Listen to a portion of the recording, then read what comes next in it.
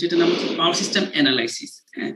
আর এটার যেটা প্রিরিকুইজিট সেটা হচ্ছে transmission distribution of electrical power আমরা এটাকে টিএমডি বলে থাকতাম কি টু ফোর ওয়ান ফাইভ ছিল। আর এই পাওয়ার সিস্টেম অ্যানালাইসিস কোর্স কিন্তু three point three three five one nine হ্যাঁ? এবং এটা লেভেল হচ্ছে থ্রি ফাইভ টু জিরো আর এর আগে এটা জানার দরকার নাই, খুব একটা দরকার নেই। এটাকে আমরা আগে power system one and two এই নামে পরিচিত হতো। তবে কিছু সিলেবাসে রিসাফল করা হয়েছে এডিশন তারপরে এই নামগুলো দেওয়া হচ্ছে আর আমাদের নামগুলো মূলত বুয়েট বা চুয়েটের মতো করেই করা হয়ে থাকে, তারা যেভাবে নিয়ে থাকে আর কি। এটা অবশ্যই একটা আমাদের পাওয়ার জন্য একটা মেজর সাবজেক্ট, যে উদ্দেশ্যে তুমি এখানে ভর্তি হয়েছে। ওই ওই ফিল্ডের একটা কোর্স সাবজেক্ট এখানে কিছু রেশনাল থাকবে সিনপসিস থাকবে, কোর্স একটা অবজেক্টিভ আছে। আমরা অবজেক্টিভ মূলত এটাই যে আমরা সিস্টেম মডেলিং নেটওয়ার্ক ক্যালকুলেশন হ্যাঁ? লোড ফ্লো অ্যানালাইসিস স্টেবিলিটি ইত্যাদি নিয়ে আমরা এখানে জানব হ্যাঁ? তারপর পাওয়ার সিস্টেমকে কীভাবে অ্যানালাইজ করা যায় একটা নেটওয়ার্কে তোমরা জানো যে আমাদের বিভিন্ন নোট বা বাস সিস্টেমের নেটওয়ার্ক রয়েছে, তাই না? আমাদের কানেকশনগুলো হচ্ছে রেডিয়াল তাহলে এই রেডিয়াল কানেকশনকে বিভিন্ন নোডের বা বাসের যে ফ্লো গুলো আছে পি কিউ হ্যাঁ তারপর কারেন্ট ফ্লো এই কমপ্লেক্স নেটওয়ার্ক কীভাবে আমরা অ্যানালাইজ করতে পারব সে সম্পর্কে আমরা জানব। নেটওয়ার্ককে কীভাবে ম্যাথমেটিক্যালি অ্যানালাইজ করা যায়? তারপরে বিভিন্ন অ্যানালাইজ করার জন্য বিভিন্ন মেথড কিন্তু আমাদের রয়েছে। পাওয়ার ফ্লো অ্যানালাইজ এটাকে লোড ফ্লো বা পাওয়ার ফ্লো বলা হয়ে থাকে। তারপরে ফল্ট হয়ে থাকে আমাদের সিস্টেম সেগুলো সম্পর্কে কীভাবে হয়? ফাইনালি ফল্ট হলে তাহলে স্টেবিলিটি কিন্তু ব্যাঘাত করবে তাই না? স্টেবিলিটি কম্প্রোমাইজ হয়ে যেতে পারে। এগুলো নিয়ে আমরা মূলত আলোচনা করে থাকব। তো এটাই হচ্ছে অবজেক্টিভ যেখানে আমরা পুরো পাওয়ার সিস্টেমের নেটওয়ার্কের ক্যালকুলেশন পাওয়ার ফ্লো হ্যাঁ ফল্ট অ্যানালাইসিস এবং ফাইনালি স্টেবিলিটি এই জিনিসগুলোই মূলত এখানে শিখব। যেখানে তোমার ট্রান্সমিশন ডিস্ট্রিবিউশনে আমরা শিখেছিলাম যে inductance capacitance right so underground cables ছিল তারপর ট্রান্সমিশন এন্ড ডিস্ট্রিবিউশন সিস্টেম ছিল। হ্যাঁ এটা কোনটাকে ট্রান্সমিশন ডিস্ট্রিবিউশন করা হয়? আমি কিন্তু একটু পরে এগুলো রিকল করব। Be very clear regarding uh, the previous uh, course related directly related to it না হলে তোমার আসলে বুঝতে সমস্যা হতে পারে ওকে সিনাপসিস আমি কথা বলতে চাই না এগুলো একটু পরে আমি এগুলো গুগল ক্লাসরুমে দিয়ে দিব তাই না we have uh, uh, 45 class obviously and since uh, according to your routine you have uh, three consecutive classes i i actually prefer to have uh, three classes uh, consecutively uh, with break okay with a tree break i'm like a tree break because uh, sometimes i have to show i have to show uh, some video lectures some examples. Okay so i think uh, to have the continuous classes it will be helpful uh, to get more benefits than the uh, single class. আমি যখন অফলাইনে class হতো দেন আমি তখনও prefer করতাম কিন্তু একসাথে দেওয়ার জন্য। কারণ ওই সেট দিতে দিতে একটু সময় চলে যায় কিন্তু এভাবে একসাথে থাকলে একটু সুবিধা হয়। এটা একটা সুবিধা আরেকটা হচ্ছে আমি পড়া দিয়ে দিলে এক সপ্তাহের জন্য তোমার অ্যাসাইনমেন্ট ইত্যাদির জন্য তুমি সময় পাবে including Thursday Friday okay Uh, the main thing for outcome-based syllabus and uh, syllabus and lecture is you should know about the course outcome. Course outcome means what you're going to learn from this course. Okay, objective এর মতোই কিন্তু সেখান থেকে So, the, most of the course have the three uh, course outcome. Maybe some course have the four or two, but most of them have the three uh, course outcome. So the first one, একটু বলে নেই যে course outcome কিন্তু আবার relate করা হয় কোশ্চেনের সাথে আমাদের। কোশ্চেনটা এমন করতে হবে then you have touch this all outcomes হ্যাঁ তুমি যেন সবগুলো আউটকাম থেকে প্রশ্নগুলো হয়ে থাকে। এবং এখানে কিন্তু ব্লু লেভেল আছে। কিছু আছে ধরো আন্ডারস্ট্যান্ডিং হ্যাঁ কিছু আছে যেমন যেটা জানার জন্য রিমেম্বারিং আবার কিছু আছে অ্যানালাইসিস লেভেলে কিছু আছে ক্যালকুলেশন পিস তো এই, এগুলো সবগুলাই আমাদের কিন্তু এই যে ব্লুমের সবগুলাই টাচ করতে হবে। রুবিক্সের হ্যাঁ যে একটা ছেলে যেন যেভাবে মুখস্থ যেটা পারে, যে একটা জিনিস জানেন যেমন ডিস্ট্রিবিউশন নেটওয়ার্ক কি বা ট্রান্সমিশন নেটওয়ার্ক কি এটা হচ্ছে জাস্ট একটা সিম্পল কোশ্চেন হ্যাঁ আরও মোর কোশ্চেন হচ্ছে যে ডিস্ট্রিবিউশন নেটওয়ার্ক এবং ট্রান্সমিশন নেটওয়ার্কের বেসিক পার্থক্য কোথায়? হুম ট্রান্সমিশন নেটওয়ার্কে ফল্ট কীভাবে হয়? এরপর হচ্ছে কেন হয়? বা এটাকে ডিস্ট্রিবিউশন কেন বলা হয়? এটা হচ্ছে আরেকটু মোর ডেপথের কোশ্চেন সো এভাবে বিভিন্ন লেভেলের কোশ্চেন আমরা শিখব। এটা হচ্ছে আমাদের ওভাবে ডিজাইন করতে এই জন্য বলা হয় কোর্স আউটকামটা কি? এবং এই কোর্স আউটকাম কিন্তু ফাইনালি প্রোগ্রাম আউটকামের সাথে যুক্ত থাকে পিও যেটাকে আমরা পিও বলি। পিওর সাথে ম্যাপিং করতে আমি দেখাবো। এই জন্যই এখন আমি শুরুতেই বলে রাখছি যে আগে কিন্তু আমরা এইভাবে দেখাতাম না, আমাদের প্রয়োজন পড়তো না। কিন্তু এখন দেখেন কাজ হচ্ছে বললাম না আইবি অ্যাক্রিডিশন আইবি অ্যাক্রিডিশন পেলে আমরা ইঞ্জিনিয়ার লিখতে পারব। হ্যাঁ আইবি আবার যে অ্যাক্টিভিশন ফলো করে সেটাকে বলা হয় বাইট অ্যাক্টিভিশন বাইট হ্যাঁ বাইটকে আচ্ছা একটু করে বলে নে যে বাইট কেন আসলে? কি দরকার ছিল? আমরা এটা বুঝতে পারছি যে আইবি অ্যাক্টিভিশন পেলেই আমরা ইঞ্জিনিয়ার লিখতে পারব। এছাড়া কি আরও বাইটেরটা মানার দরকার কি ছিল? যেটা আইবি ফলো করে থাকে। আইবি আর বাইট মোরলেস একই রকমই। এটা হচ্ছে তোমরা কি জানো যে আমাদের দেশ থেকে যে সকল ডক্টররা হ্যাঁ দেশের বাইরে যান দেশের বাইরে যান তারা কিন্তু সরাসরি প্র্যাকটিস করতে পারে। এটা জানো কি? এই ছেলেরা? অনেক হয়তো হ্যাঁ বা ইঞ্জিনিয়ার দুই একটা রেয়ার ঘটনা থাকতে পারে তারা জব করতে পারে কিন্তু মেন হচ্ছে যে তারা কিন্তু জব করতে পারে না। হ্যাঁ এটার মেন কারণ হচ্ছে যে এই তারা আমাদের ডিগ্রিগুলোকে রিকগনাইজ করে না। ইন্টারমিডিয়েট বা পর্যন্ত ঠিক আছে। তারাই জব করতে পারে যারা অ্যাটলিস্ট ওখানে মাস্টার্স করে মাস্টার পিজি দেন ওকে কিন্তু আমাদের আন্ডার গ্রাজুয়েটকে তারা কিন্তু ওভাবে কনসিডার করে না। তো সেক্ষেত্রে তাদের কত, কতগুলো গাইডলাইন আছে? যারা মেডিকেল পড়ে তাদেরকে ওখানে কিন্তু আলাদা ওই কোর্সটা করতে হয়। এরপরে তারা ডক্টরশিপ ট্রিট হয় এবং ওটা অত্যন্ত কঠিন একটা কোর্স একইভাবে ইঞ্জিনিয়ারদের ক্ষেত্রেও তাই। ইঞ্জিনিয়ার কিন্তু সরাসরি আমাদের এই বুয়েট বা আইসি ডিগ্রি নিয়ে কেউ ইঞ্জিনিয়ারিং জব করতে পারবে না। যারা করে তারা কিন্তু আগে মাস্টার্স করে নেয়। আমি আবারও বলে নিই, তো তারা কিন্তু মাস্টার্স করে নেয়।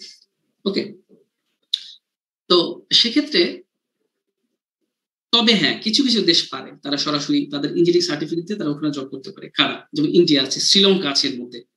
হ্যাঁ এটাকে বলা হয় যে ওয়াশিংটন অ্যাকর্ড বলা হয় ওয়াশিংটন অ্যাকর্ড হ্যাঁ আমরা যেমন আইবির মেম্বার না, একইভাবে যদি আমরা ওয়াশিংটন অ্যাকর্ডের মেম্বার হতে পারি, আমরা যেমন আইবি মেম্বারের জন্য কাজ করতেছি ইঞ্জিনিয়ার লিখতে পারি ওয়াশিংটন অ্যাকর্ডের যখন মেম্বার হয়ে যাবে তখন আমরা এই ডিগ্রিটা ইন্টারন্যাশনালি রিকগনাইজ হবে।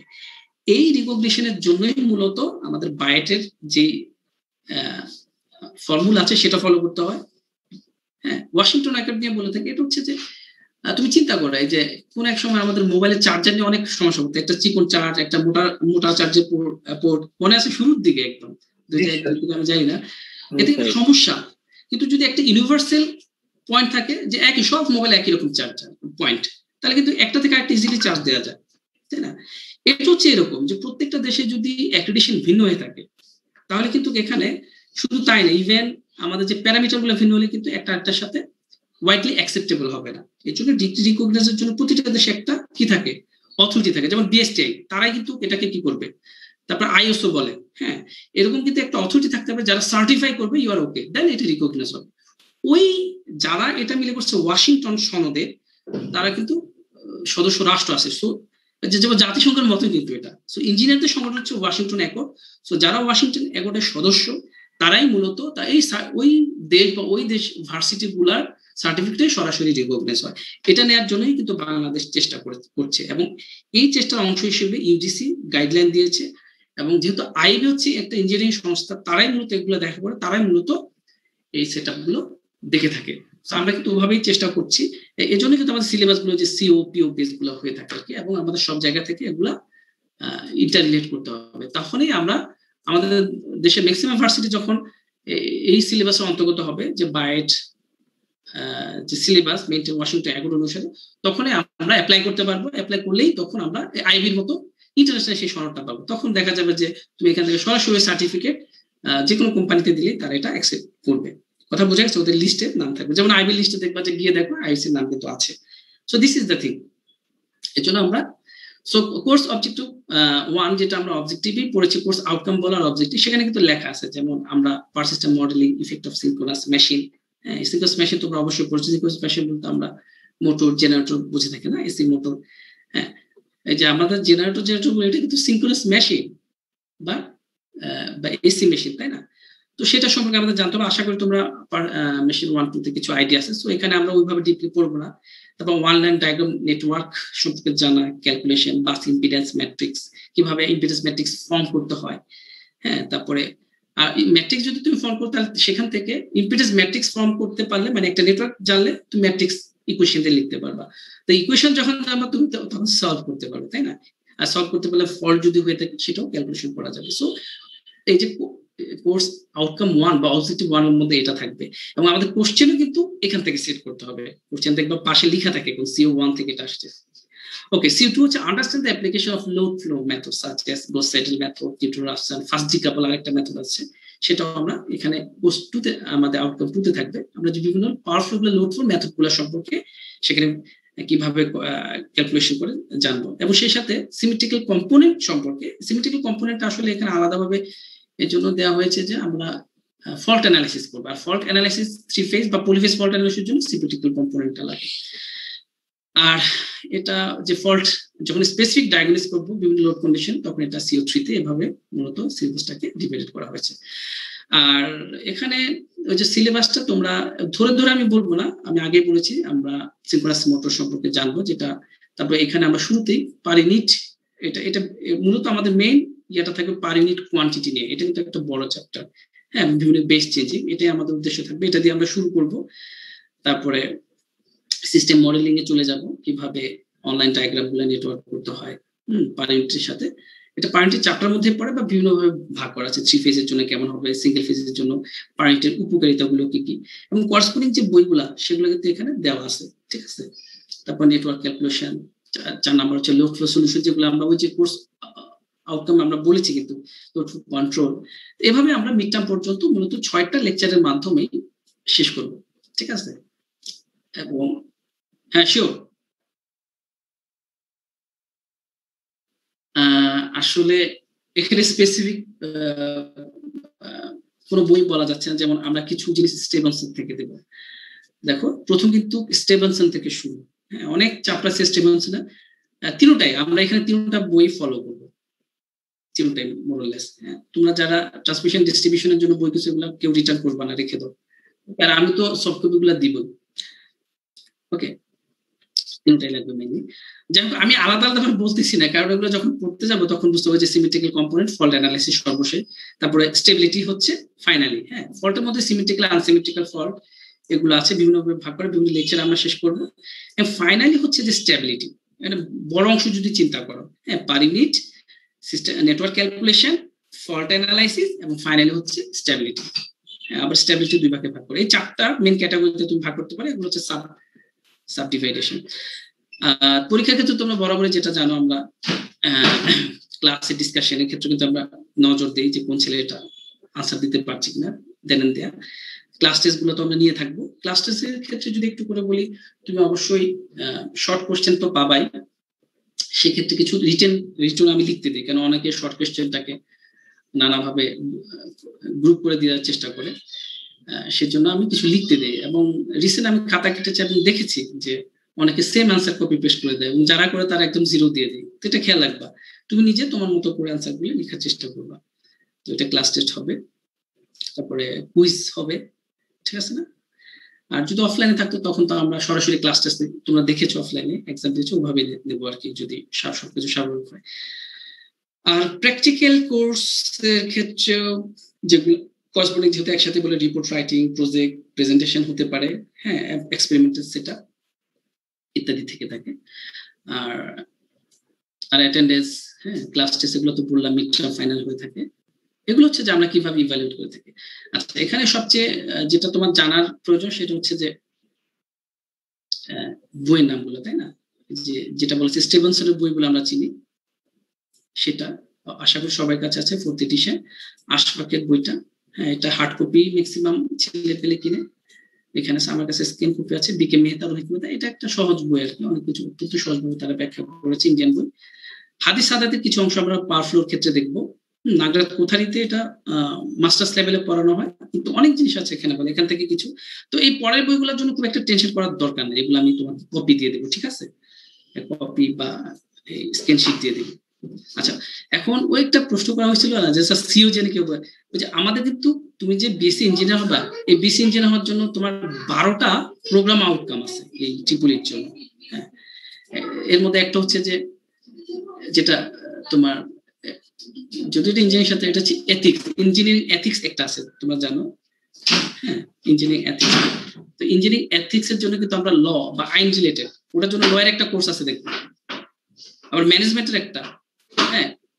এই লয়ার কোর্সের পিও গুলো পড়লে বোঝা যাবে আমি স্পেসিফিক এখন পিও গুলা নাই তো এখানে দেখা যায় তোমরা বারোটা পিও পেয়ে যাবে। ইভেন তোমরা যখন অফলাইনে ডিপার্টমেন্টে উঠো সামনে একটা দেখছ টায়ানো আছে যে সিঁড়ির সামনেই হ্যাঁ, ওখানে করলে এখন সার দিলেও বাবা।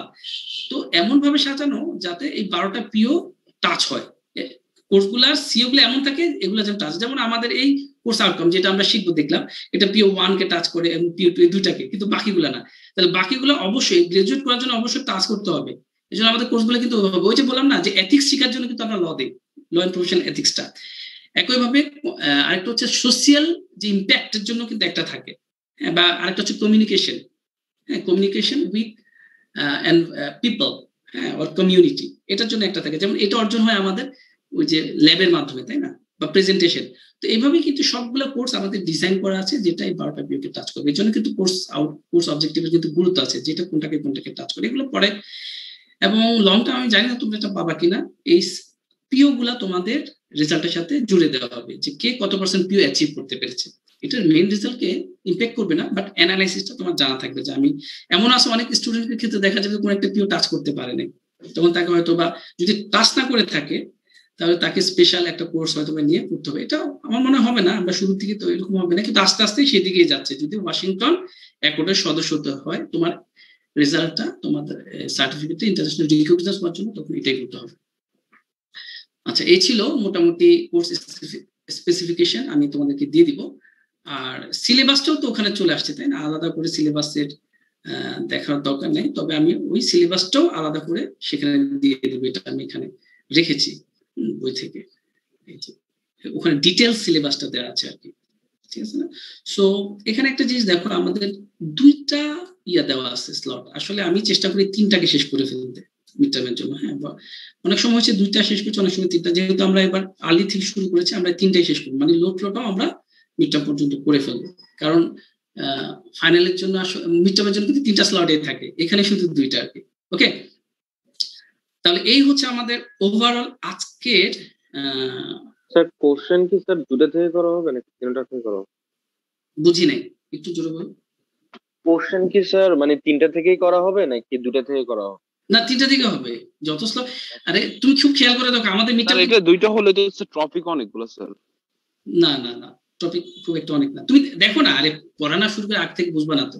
আমাদের কিন্তু তিনটা থাকে স্লট সবসময় তিনটা থাকে। হ্যাঁ তিনটাই থাকে দুটা না।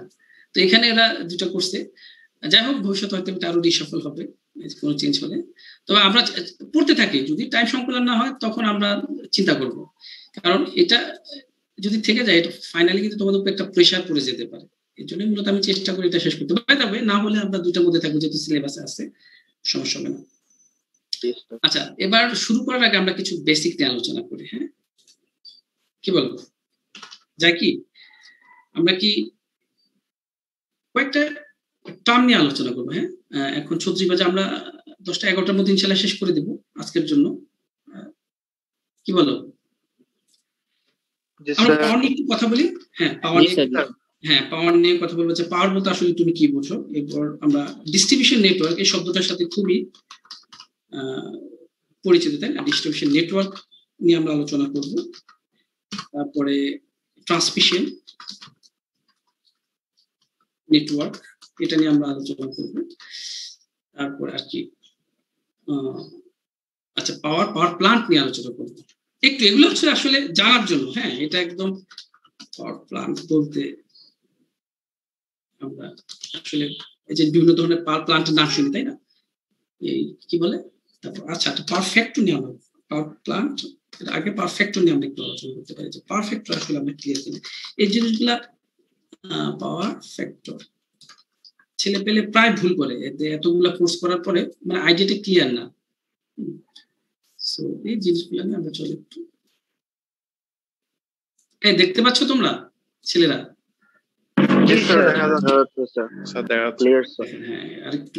বড় করে দিলাম ওকে তুমি পাওয়ার বলতে আসলে কি বোঝো বলো তো আমাকে? বলো। শক্তি। সক্ষমতা স্যার একক একক সময়ে কাজ করার শক্তিকে পাওয়া যায় হ্যাঁ এটা হচ্ছে মোর অ্যাকসেপ্টেবল একটা সাইন্টিফিক ব্যাখ্যা। হ্যাঁ আমরা শুনেছি যে কাজ করার জন্য কোন একটা সময় হ্যাঁ যে আহ, কাছে সেটাকে পাওয়ার বলা হয়। এটা কি? আচ্ছা, সময় যে কাজ সম্পন্ন করে স্যার সময় যে কাজ সম্পন্ন করে। হ্যাঁ হ্যাঁ, আচ্ছা তাহলে আমরা এটাকে যদি ম্যাথমেটিক্যালি লিখি ম্যাথমেটিক্যালি কীভাবে লিখতে পারি বলো? Equals to W by T আচ্ছা তোমার কথা মতো। Equals to W by T right টিটা হচ্ছে সময় আমরা যে সময়। আচ্ছা এখান থেকে আমরা কিন্তু আরেকটা কথা আমরা দেখব যে এটাকে কীভাবে ইয়া করা যায়। হ্যাঁ আমরা আরেকটা কথা লিখতে পারি। তাহলে ডব্লিউটা কি? আমরা অনেকে ডব্লিউ লিখি বা ই লিখি তাই না? আচ্ছা ডব্লিউ তাহলে ডব্লিউ ইকুয়ালস টু পিটি তাই না? এমজিএস হ্যাঁ পিটি পি হ্যাঁ ইনটু টি তাই না? আচ্ছা এখানে আমরা ইনসার্টে গিয়ে একটা ইনটু ইনটু আকারে দিই।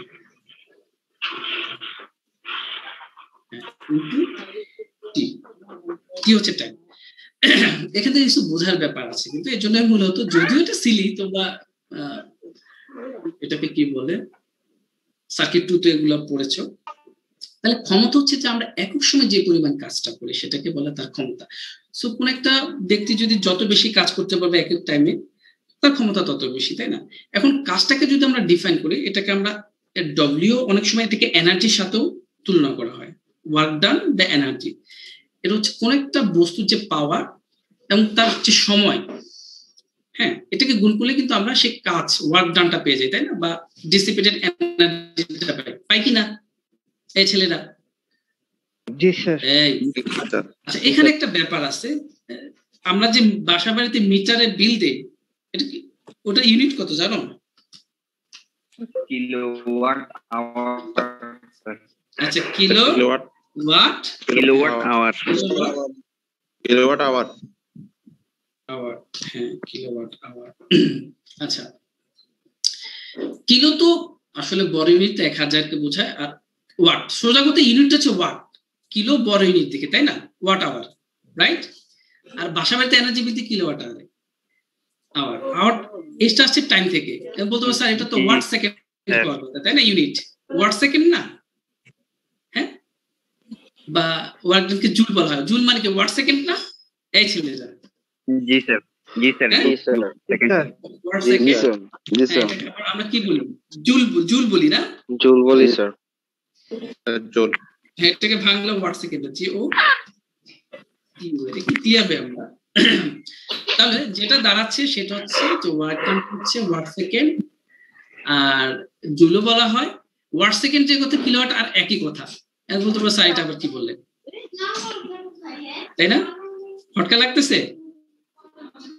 এই ছেলেরা। না স্যার। জি স্যার। হ্যাঁ হ্যাঁ। আসতেছি। এখানে জুলের মধ্যেও ঘটকা। কাজের ইউনিট কি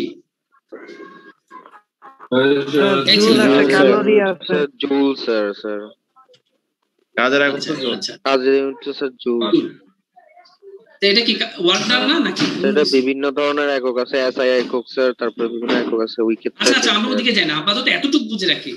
এখন এইটা এবং এটার পার্থক্য হচ্ছে যে আমরা যে বাসা বাড়িতে বিল সেটা হচ্ছে ওয়ান ইউনিট বলা হয়। ওয়ান ইউনিট মানে কিলোওয়াট আওয়ার কিলোওয়াট আওয়ার এটা তো একই জিনিস। এটা হচ্ছে বড় ইউনিটে রিপ্রেজেন্ট করা হয়েছে। এটা হচ্ছে ওয়াটে তুমি এক হাজার দিয়ে ভাগ দাও এটা কিলোওয়াট হয়ে যাবে তাই না? আর সেকেন্ডে আওয়ার না তো অত্যন্ত ছোট অনেক বিল দিতে হবে তো তোমাকে। লাগানোর সাথে সাথে কিলোওয়াট উঠে যাবে তাই না? এটা একটু বড় ইউনিট তার মানে এটা এটা সেম ইউনিটে বাট এটা বড় আকারে। আমি হচ্ছে যেহেতু এনার্জির মিটারের সাথে তুলনা করে কিলোওয়াট আওয়ারে লিখছি আর কি। আচ্ছা ওখান থেকে একটু উল্লেখযোগ্য জিনিস দেখো। সেকেন্ড থেকে আবারও এই করে নিচ্ছি। হ্যাঁ হ্যাঁ। সেকেন্ডকে ছত্রিশশো দিয়ে ভাগ দিছে আর এটাকে এক হাজার দিয়ে ভাগ দাও। এক হাজার হ্যাঁ ইন্টু ছত্রিশ দিয়ে ভাগ দিলে ওটা হয়ে যাবে কিলোওয়াট আওয়ার বুঝতে পারছ? জি স্যার বুঝতে গেছে স্যার। এই তো। এইটাই আমরা কিন্তু বলি যে ওয়ান ইউনিট তাই না? এটাকে বলে ওয়ান ইউনিট আমরা। এক ইউনিট কত আট টাকা ছ টাকা দিয়ে থাকি তাই না? আচ্ছা এখানে ব্যাপার হচ্ছে একটা জিনিস বোঝার ব্যাপার সেটা হচ্ছে যে দেখবা যে তোমাদের ঘরে কিন্তু লোড আছে। এসি লোড হচ্ছে ধরো দুই কিলোওয়াট ওয়াটার হিটার হচ্ছে এক কিলোওয়াট আয়রন হলো এক কিলোওয়াট স্যার হ্যাঁ? তারপরে ওভেনের আছে আমরা মিটারও ফিক্স করে দিই কয় কিলোর মিটার হবে? না এটা হচ্ছে শহরের ক্ষেত্রে তারা এটা বিলের উপর ডিপেন্ড করে। ওটা হচ্ছে বিলিং ব্যবস্থার জন্য। এটা হচ্ছে পিটিভি ডিসাইড করে। কারণ তুমি যেটা আট টাকা বা ছয় টাকা করে দাও তো তোমার কোম্পানি যেটা মানে বিভিন্ন ফ্যাক্টরি গুলো ওরা কিন্তু দশ বারো টাকা হারে একই ইউনিটে পার্থক্যটা কোথায়? দুটা জিনিস পার্থক্য। একটা হচ্ছে হ্যাঁ ওটা বাণিজ্যিক যখন বেশি হবে হ্যাঁ? ডিমান্ডের উপর স্যার আমাদের যে বাসা বাড়িতে আছে। স্যার বাসা বাড়িতে যেগুলো ইউজ করা হয়, ওখানে মাঝে মাঝে দেখা যায় যে এক কিলো ওয়াটের অথবা দুই কিলো ওয়াটের মিটার ইউজ করা হয়। তো ওটার ক্ষেত্রে কি রকম মানে আলাদা ব্যাপার? না, এটাই বলতেছি আর কি। যেহেতু অ্যাজ ইঞ্জিনিয়ার হিসেবে আমরা সিম্পল জিনিসগুলো অমিট করে থাকি, সেটা হচ্ছে এটা হচ্ছে ডিমান্ড উপরে। একটা ছেলে কিন্তু বলছে এটা হচ্ছে ডিমান্ড ট্যারিফ বলা হয়। আমাদের দেশে ট্যারিফ শুধু এটা আমাদের দেশে না যে কোনো দেশে ট্যারিফটা থাকে। এখন তো বলতে পারো যে পিডিবি তো, তাহলে একশোটা বাড়ি হিসাব করলে তো একটা ফ্যাক্টরি সমান হচ্ছে। পিডিবি কেন লস করতে যাবে হ্যাঁ তাই তো দরজাটা লাগে সেটাও কথা। ঠিক আছে? এটা হচ্ছে এটা প্রথমে এটা মনে রাখো যে এটা হচ্ছে গভর্নমেন্টের নাগরিক হিসেবে দায়িত্ব তোমাকে খাদ্য বস্ত্র বাসস্থান শিক্ষা চিকিৎসা পাওয়ার সহ সবগুলাকে প্রপার দেওয়া। হ্যাঁ, এটা হচ্ছে গভর্নমেন্টের আনইন্টারাপ্টেড হ্যাঁ এখান থেকে কিন্তু একটা রিলেশন আছে। সো পাওয়ারটাও কিন্তু তোমার একটা রাইটের মধ্যেই পড়ে। এখন এটার মধ্যে তারা আবার স্কেজুলিং করছে প্রথম কথা হচ্ছে যে যার একটা নর্মাল বাসা বাড়িতে তিন কিলোওয়াট লাগে থ্রি থ্রি কিলোওয়াট তাই না? অন এভারেজ গ্রামের বাসায়. ওয়ান কিলোওয়াট আর তোমার শহরের বাসাগুলোতে যেহেতু ডিভাইসগুলো বললাম যে এসি টেসি থাকতে পারে এক থেকে তিন কিলোওয়াট এর জন্য তারা ওইটা নির্ধারণ করছে যে জনগণের চাহিদার উপর বেশ করে এটা থাকবে ছয় থেকে আট টাকা তাই না? এটা প্রাইস কত? ছয় টাকা করে মনে স্যার ছয় থেকে আট টাকা না? জি স্যার। এক ইউনিট ছয় টাকা না ষাট টাকা করে হ্যাঁ ছয় থেকে আট টাকা। আমি ধরে নিলাম ভেরি করলাম এটা হচ্ছে যে আমাদের এই বাসা বাড়ির জন্য কিন্তু তুমি যখন ডিমান্ডটা বাড়বে এই অফিস আদালতের জন্য তাদের তো ইনকাম অনেক বেশি বুঝতে পারছ? আর তাদের লাগেও বেশি। এই জন্য তারা কিন্তু তখন দশ থেকে বারো টাকা একটা হিসাব দিয়ে থাকে। আচ্ছা এখন বলতে পারো তাহলে স্যার আমাদের মিটারে কেন তারা এই ব্যবস্থাটা করে? মিটারে এটা গ্রামের দিকে নাই শহরের দিকে আছে। গ্রামের দিকে ওয়ার্নিং দিবে বেশি করলে পরে কেটে দিবে যে আপনি এর মধ্যেই থাকতে হবে কিন্তু শহরের যে স্মার্ট আমাদের স্যার সেভেন্টি ফাইভ বুঝি না স্যার আমরা স্যার বাড়িতে যে স্যার আমরা বাড়িতে জাস্ট ইলেকট্রিসিটি স্যার কনজিউম করি ওটা স্যার সেভেন্টি ফাইভ ইউনিটের উপরে চলে গেলে তখন স্যার ওটার আবার রেটটা বেড়ে যায় না স্যার হ্যাঁ হ্যাঁ। এরকম এটা কিন্তু এটা তো ট্যারিফ বলা হয় আর কি হ্যাঁ এটা বলার কারণ হচ্ছে যে সব দেশেই থাকে। এটা দুইটা কারণ আছে। একটা হচ্ছে আমাদের কিন্তু যে পাওয়ার জেনারেশন হয় আমাদের ডিমান্ড সাপ্লাই কিন্তু মিস ম্যাচ আছে। যেমন আমাদের অ্যারাউন্ড দরকার হচ্ছে at least twenty kilo twenty megawatt কত? বিশ হাজার? Megawatt mega? মেগা না তো? বিশ হাজার হলে স্যার কি হবে? স্যার কিলোওয়াট বিশ হাজার বিশ হাজার গিগা গিগাওয়াট আর কি। বিশ হাজার বিশ হাজার। কিন্তু আমাদের জেনারেশন হচ্ছে অলমোস্ট ম্যাক্সিমাম পাওয়া গেছে পনেরো হাজার। তুমি পৃথিবীতে গেলেই দেখবে পনেরো ষোলো রেকর্ড হয়েছে কিন্তু দরকার হচ্ছে মিনিমাম হচ্ছে বিশ হাজার মেগাওয়াট তাহলে তাহলে আরও পাঁচ হাজার কোথা থেকে আসবে? এটা মূলত তোমাকে একটা বাধ্য করে রাখে। ওই যে গাড়ির চারশো পার্সেন্ট ভ্যাট দিয়ে রাখছে যেভাবে না মানে নিরুৎসাহিত করা ইউজ করার জন্য হ্যাঁ যাতে বেশি গেলে আমাকে হাই রেটে হয় এটা একটা টেকনিক কিন্তু যখন আমাদের ডিমান্ড এবং জেনারেশন সেম থাকবে বা বেশি থাকবে আমাদের রিজার্ভ থাকবে তখন আর এই লিমিটগুলো ওইরকম থাকবে না। তুমি শুনলে খুবই আশ্চর্য হবা এই আমার একটা স্টুডেন্ট ছিল সোমালিল্যান্ডের ও বলে ও প্রায় একশো টাকা পরে এক ইউনিট ওর দেশে। কথা বুঝতে পারছে এক ইউনিট কত টাকা? একশো একশো কেন হ্যাঁ একশো টাকা। হ্যাঁ ফকির হয়ে যাবে। এর জন্য ওরা যারা যারা লাক্সারি লাইফ লিড করে যারা বড় লোক কারণ প্রত্যেক দেশে গরিব হলে তো পাঁচ পার্সেন্ট দশ পার্সেন্ট বড় লোক তো থাকে। এটা যে দেশে হোক। ওরা মানে ওরা। টেকনিক্যালি এটাকে বাধ্য করছে তারাই শুধু এরিস্টোকেট ফ্যামিলি তারা ইউজ করবে। আর বাকিরা আয়ারল্যান্ডে স্যার এরকম স্যার। মানে আয়ারল্যান্ডেও সেম মানে অনেক হ্যাঁ। এক্সপেন্স এটা হচ্ছে যে একটা যেমন গাড়ি তোমার যে গাড়ি এখানে আট লাখ টাকা দিয়ে কিনে ওটা দেশের বাইরে কেউ কিনেও না। ভাই, এক লাখ টাকা দিয়ে আমি এটিতে ছিলাম। আরে, পাকিস্তানে ভাই এক লাখ টাকা গাড়ি কিনছে। এই হাই ফাই আমি কিনে ফেলব। যদি পড়াশোনার কারণে আর কিনা হয়নি কারণ আমাদের দেশে এটাকে দশ বারো লাখ টাকা দিয়ে কেন কিনতে হয়? দাও, চারশো পার্সেন্ট ভর্তুকি দিয়ে কিনো, যদি তোমার ইচ্ছা হয়। এটা হচ্ছে যে কমায় কমিয়ে ফেলায় এটা একটা, এটা হচ্ছে একটা রাষ্ট্রীয় বা পলিটিক্যাল কিংবা গভর্নমেন্টের একটা policy. যেহেতু আমাদের হ্যাঁ পলিসি এটা পলিসি দিয়ে কন্ট্রোল স্যার, আমাদের তো sir sir sir export by export cargo sir two hundred দুইশো পার্সেন্ট করে ব্যাট দিতে হয় স্যার হ্যাঁ সেটাই সেই কথাটাও বললাম আর কি। এটা হচ্ছে কন্ট্রোল করার একটা ওয়ে আচ্ছা এবার আসা যাক তাহলে আমরা একটু বুঝলাম যে কিলোওয়াট আওয়ারে দিয়ে থাকি। এখন আমাদের ঘরে যে লোডগুলো আছে এগুলা লাগানো থাকা সত্ত্বেও এগুলো কিন্তু সবার একটা পাওয়ার আছে দুই হাজার কিন্তু তারপর আমাদের বিল দিতে হয় না কেন? বলতো এই যে তোমার তো এসি দুই হাজার কিলোওয়াট আছে। তোমার ফ্যান তো তিনশো ওয়াটের আছে, কিন্তু বিল দিতে হয় না কেন? বা লাইট তো আঠারো ওয়াটের আছে। তারপর বিল দিতে হয় না কেন ওগুলোতে? কারণ তুমি দেখো না W equal to PT T zero T যদি জিরো জিরো হয়, তাহলে এনার্জি জিরো তার মানে তোমার ওই ওয়াট থাকলে হবে না ডিভাইসটা থাকলে হবে এটা ইউজ করতে হবে, তাই না? আল্লাহ না যদি কানেক্টেড লোডের উপর বিল দিতে হতো, তাহলে কি পরিমাণ বিল দিতে হতো? চিন্তা করছ? মানে টি জিরো মানে? হ্যাঁ তার মানে আলটিমেটলি তুমি টি মানে যতক্ষণ ইউজ করবা ওইটার উপর বেস করে তোমার বিলিংটা হবে। আচ্ছা এটা হচ্ছে একটা আন্ডারস্ট্যান্ডিং ওকে আমরা বুঝলাম। এই পি ডব্লিউ টি ছাড়াও কিন্তু আমাদের আরেকটা ইকুয়াল টু আরেকটা রিলেশন আছে। পি ইকুয়াল টু কি বলতো? এই পি পি এর আরেকটা রিলেশন কি স্যার পি সমান পি পিআই আই পি সমান B I cos theta sir অনেকগুলো আছে। কস থিটা আচ্ছা বিএ কস তার মানে পার্ট হচ্ছে আমরা আসলে দেখা যাচ্ছে না লেখা যেগুলো। আচ্ছা দেখছ? PI কর। জি স্যার দেখো না? জি স্যার দেখা যাচ্ছে এখন। এখন দেখা যাচ্ছে। এই তো সিম্পল জিনিস। আচ্ছা ভিআই কস আমি বলে থাকি যে আমাদের ট্রিপলিতে বা ইঞ্জিনিয়ারিং এর জন্য ট্রিপলি তাই না? তিনটা ই আর আমাদের মেইন কোয়ান্টিটি কিন্তু তিনটা। P V I power voltage এবং কারেন্ট এর বাইরে কিন্তু কোয়ান্টিটি না এবং এলিমেন্টও কিন্তু মেইন তিনটা। দেখো আর এল সি তাই না? এগুলো দিয়েই কিন্তু সব। জি স্যার আচ্ছা জি স্যার বাকি হ্যাঁ এখন ইকুয়াল টু তার ভোল্টেজ এবং যে কারেন্ট এই দুটার মাল্টিপ্লিকেশন করলে কিন্তু আমরা পাওয়ার পেয়ে যাবে। কিন্তু কস থিটাটা কোথেকে আসলো? আমরা যখন ডিসি তে পড়েছি বা শুধু রেজিস্টিভ লোডের ক্ষেত্রে পড়েছি, তখন খেয়াল করে দেখবা যে একটা রেজিস্টিভ লোড যে কারেন্টটা ড্র করে, যদি আমরা ভোল্টেজকে রেফারেন্স ধরি হ্যাঁ রেজিস্টিভ লোড রেজিস্ট্যান্সে কোনো অ্যাঙ্গেল ক্রিয়েট হয় না, তাই না? এটা- একমাত্র পাওয়ার ডিসি করতে পারে। এটা তো জানো, আজকাল আর যে লস হয়, সেটা কার মধ্যে হয়? শুধু রেজিস্ট্যান্সে রেজিস্টিভ লোডে স্যার স্যার ইউ এর মধ্যে কি ইউনিটি পাওয়ার ফ্যাক্টর থাকে? থাকে না। হ্যাঁ হ্যাঁ ইউনিটি পারফেক্ট এই যে দেখো একই বরাবর একই। তার মানে অ্যাঙ্গেল আছে কোনো? নাই অ্যাঙ্গেল জিরো এখানে থিটা জিরো তাহলে এখানে কিন্তু থিটা জিরো মানে ওয়ান তাহলে লোডের ক্ষেত্রে পাওয়ার কিছুই না ইকুয়াল টু ভিআই কিন্তু মজার ইন্টারেস্টিং ব্যাপার কি? আমাদের প্র্যাকটিক্যাল লোড কিন্তু রেজিস্টিভ না ফুল রেজিস্টিভ না। আমাদের লোডগুলা কি বলতো? কি টাইপের লোড ইন্ডাকটিভ থাকে। ইন্ডাকটিভ ম্যাক্সিমাম সে প্যাস প্যাস প্যাস আমরা মানুষও প্যাস লোডগুলো প্যাস প্যাস তাই না? জন্য এটা একটা ইন্ডাকটেন্স যেটা তোমরা ট্রান্সমিশন ডিস্ট্রিবিউশনে পড়েছো হ্যাঁ? ওখানে দেখবে একটা ইন্ডাকটেন্স ম্যাগনেটিক ফ্লাক্স একটা ইন্ডাকটেন্স ফর্ম করে। ইন্ডাকটেন্সের কারণে যেটা হয় কারেন্টটা কিন্তু ল্যাগ করে। ভোল্টেজের তুলনায় কারেন্টটা কি করে? তো একটা অ্যাঙ্গেল ক্রিয়েট হয় কিন্তু তাই না? অ্যাঙ্গেলের কারণে আমরা জানি কস্টিটার ম্যাক্সিমাম মান হচ্ছে ওয়ান তখন ওয়ান আর থাকে না। তখন কি হয়ে যায়? বলো তো এটা কমে যায় একের চেয়ে কমে যায়।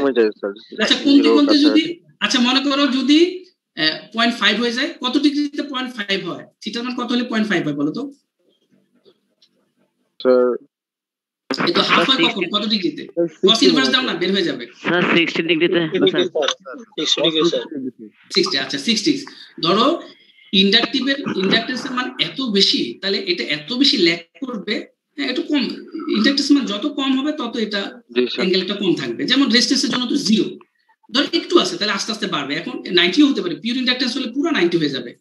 তখন কিন্তু পাওয়ার পুরো ডিসিপেশন হবে না।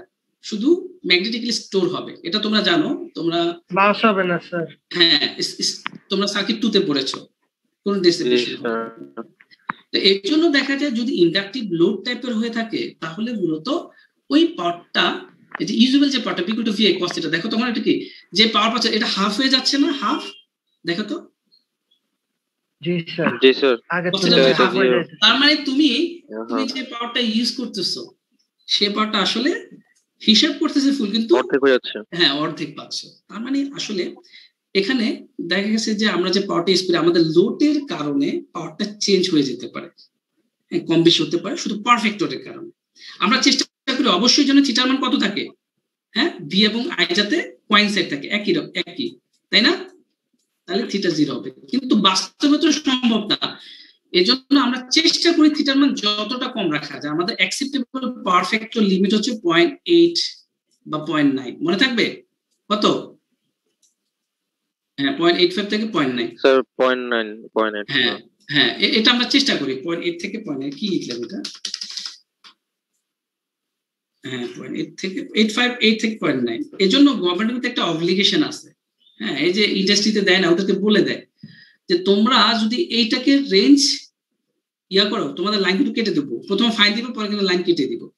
আচ্ছা এখন কেন? গভর্নমেন্ট কেন এত আবার কঠিন হতে যায় ইভেন শহরে যে তোমরা বিল্ডিংগুলা থাকো না এগুলো কিন্তু বড় বড় বিল্ডিং তাই না? এই বড় বিল্ডিংটা তোমার একাই না হচ্ছে তোমার ছোট। কিন্তু একটা বিল্ডিং এ তো দেখা যায় যেটা দশতলা বিল্ডিং চারটা ফ্লোরে চল্লিশটা ফ্যামিলি থাকবে। চল্লিশটা যদি একজন তিন কিলোওয়াট হয়, তিন চার বার, একশো বিশ কিলোওয়াট তার মানে সবগুলো লোড মিলে পারফেক্ট কমাই দিতে পারে কিনা? এই জন্য বড় বড় বিল্ডিং এও একই রকম রুলস ওই যে ডিমান্ড এখানে কিন্তু একশো বিশ কিলোওয়াট ঢুকতেছে। এটাও ইন্ডাস্ট্রি ডিমান্ডের ওই রেঞ্জের মধ্যে চলে যাবে টোটাল তাকে ওইভাবে পে করতে হবে। বুঝতে পারছ? এবং তাদেরকে একই শর্ত যে আপনাদের পারফেক্ট এর মধ্যে রাখতে হবে। প্রশ্ন হচ্ছে যে কেন? হ্যাঁ এই পারফেক্ট এর মধ্যে না রাখলে আমরা দেখলাম যে পাওয়ার ইউজুয়াল পাওয়ারটা হাফ হয়ে যায়। যদি এটা পয়েন্ট ফাইভ হয় বা এইট হলেও তো একের চেয়ে কমে যাচ্ছে, তাই না? ইউজুয়াল পাওয়ারটা কমে যাচ্ছে। কেন? এত কনসার্ন কেন? দুইটা, একটা হচ্ছে, তাহলে আমরা যেটা দেখতে পাচ্ছি, আসলে লুজার দুই দিকে হচ্ছে।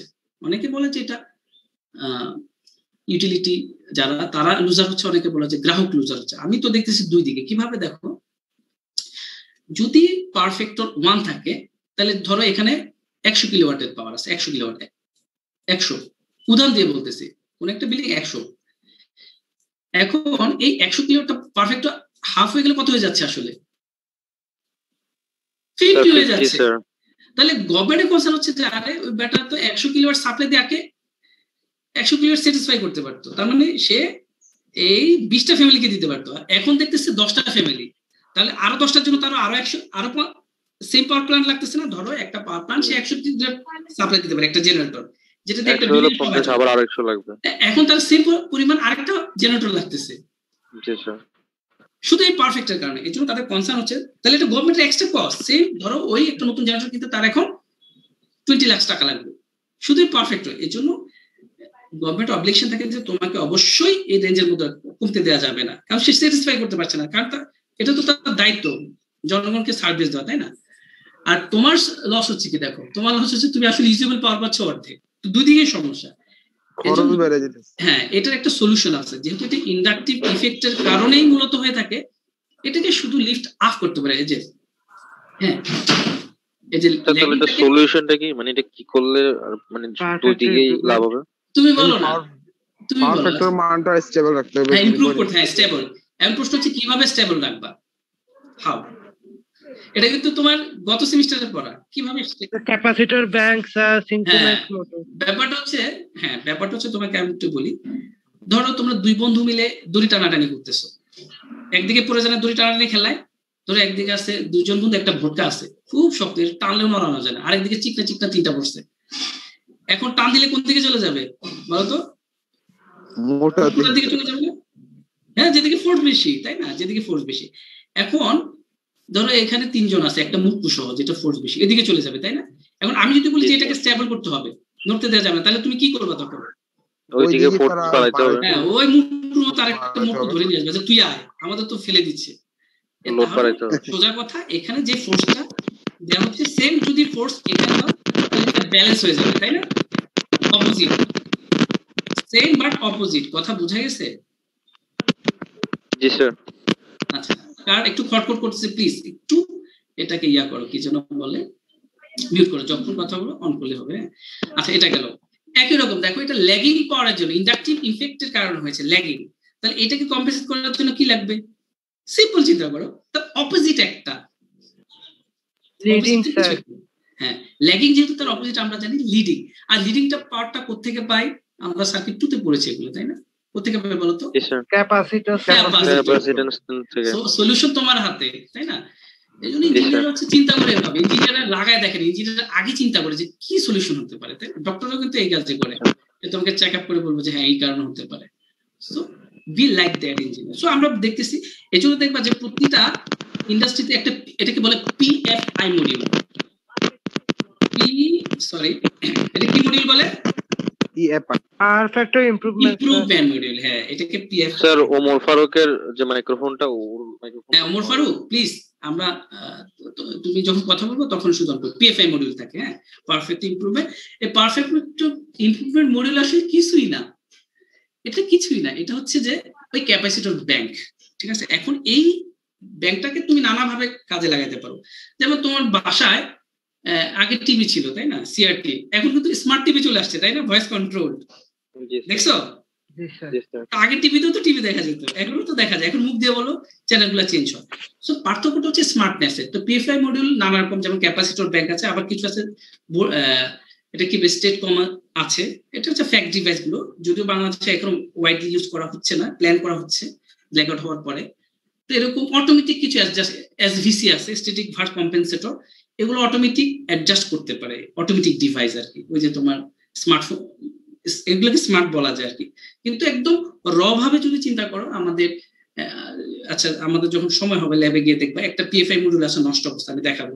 জাস্ট সিম্পলি ক্যাপাসিটরগুলো সেখানে আছে।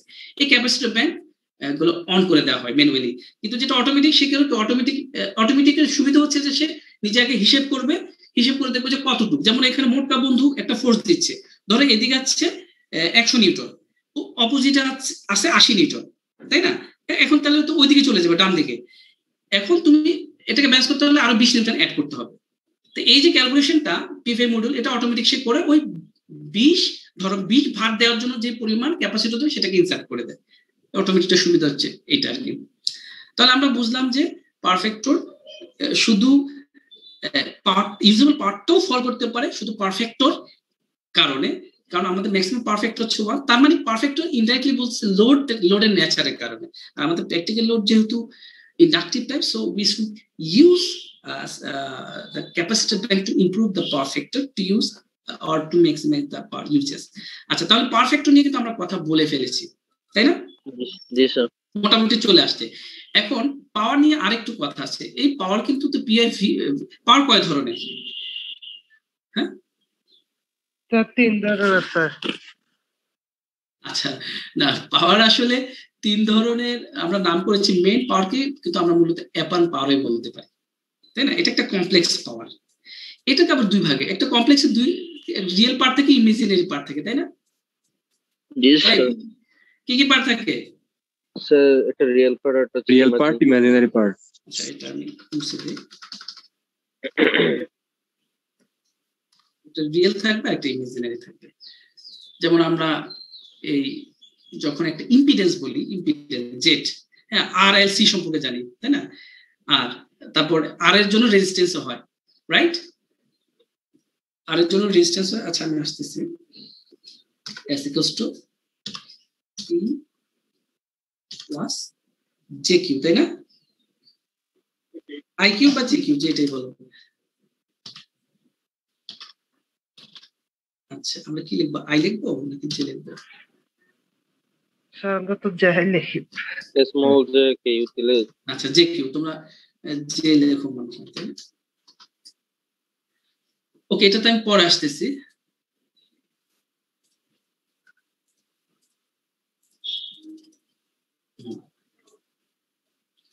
আচ্ছা তোমরা এটা সার্কিট হতে পড়ছে রেজিস্ট্যান্স এল এর জন্য যেটা হয় এটা হচ্ছে বলে ইন্ডাকটিভ রিঅ্যাক্টেন্স এটা কি বলে?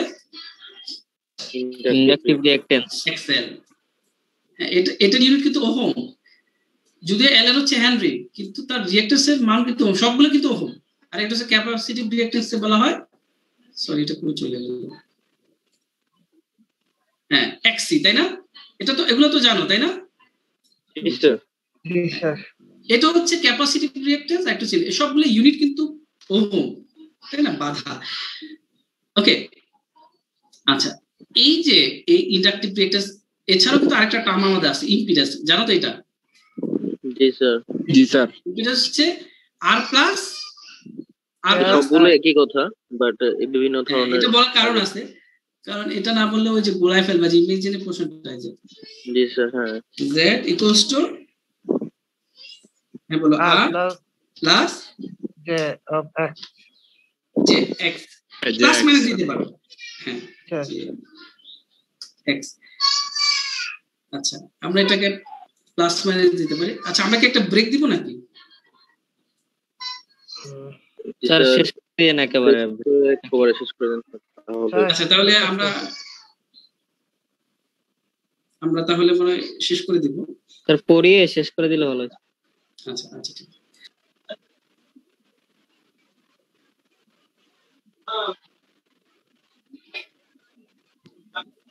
আচ্ছা ঠিক আছে।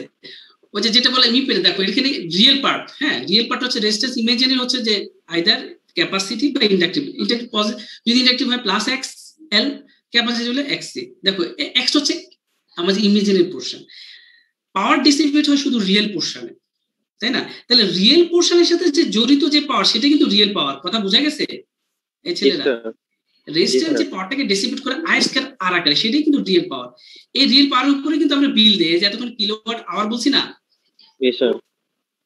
এটাই কিন্তু আমরা বিল দেই Time it is- real power উপরে বিলটা আসে কিন্তু যে এক্সের যে পাওয়ারটা হয় এটা কিন্তু পাওয়ার এটা পাওয়ার স্টোর করতে পারে। এবং এই যে পাওয়ারটা এই করসপন্ডিং পাওয়ারটা হচ্ছে রিয়েক্টিভ পাওয়ার একটা হচ্ছে হ্যাঁ লিডিং পাওয়ার আর একটা ল্যাগিং পাওয়ার তাই না? এই পাওয়ারটা কিন্তু ডিস্ট্রিবিউট হয় না। তুমি দেখবা যে কোয়ার্টার সাইকেলে সে স্টোর করে আর বাকি কোয়ার্টার সাইকেলে ছেড়ে দেয় তাই না?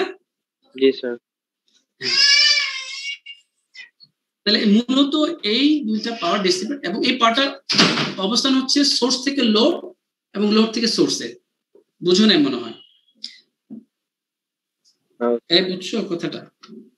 ধরো আমরা তো জানি এই হচ্ছে আমাদের সকেট বা পাওয়ার সাপ্লাই এখান থেকে আমরা যদি একটা ফ্যান বা লাইট লাগাই পাওয়ারটা কোন দিকে যাবে? রিয়েল পাওয়ারটা সেটা স্যার সোর্স থেকে লোডের দিকে। হ্যাঁ লোডে সে লোডের দিকে যাবে। এদিকে যাবে রিয়েল পাওয়ার পাওয়ার ডিস্ট্রিবিউট করবে লাইট জ্বলবে। এখন এটা যদি ইন্ডাকটিভ কোনো কম্পাউন্ড থাকে সে কিন্তু আরেকটা পাওয়ার সে ড্র করবে।